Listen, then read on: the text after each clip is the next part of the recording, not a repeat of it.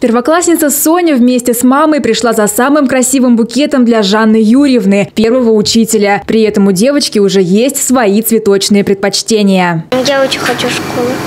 Ты выбираешь букет для своей первой учительницы. Какой это будет букет? Расскажи про него. Ну, красивый, розовый. Ну, я бы так хотела выбрать, чтобы он был розовый.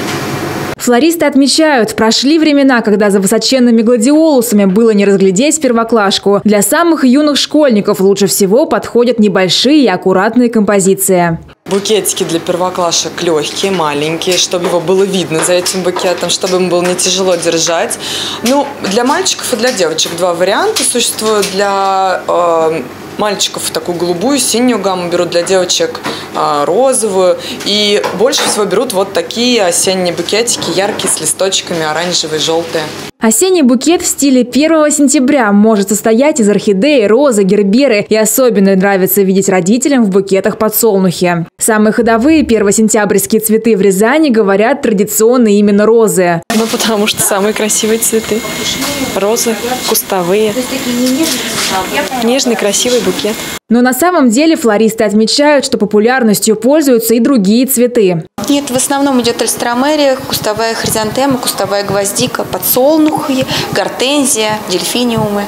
То есть розу очень мало просят, потому что чаще всего родители говорят, что она умирает, и нужно так, чтобы букет продержал всю линейку и еще радовал учителя дня 3-4 хотя бы. В принципе, как и в том году, и как в этом, два вида. Либо яркие, либо очень нежные. Э, в основном ценовые предпочтения от 1000 до 2000 идет, не дороже просят.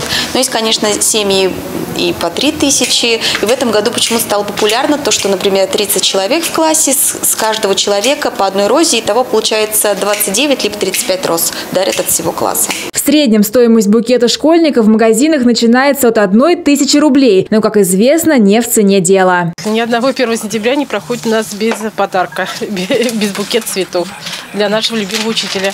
Сначала начинается все от продавца э, с хорошим настроением отдается это нам. Мы с хорошим настроением отдаем это преподавателю в надежде на хорошие оценки. Ну, с вчерашнего дня уже. С вчерашнего дня уже покупают.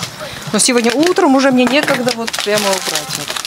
Еще несколько лет назад учительница одного из лицеев Москвы предложила школьникам и их родителям 1 сентября не покупать дорогие букеты, а сэкономленные деньги перечислить в фонд помощи больным детям. Идею поддержали ученики и тысячи пользователей интернета. В Рязани пока эта идея не зародилась, но уже сегодня и родители, и учителя отмечают о ее необходимости.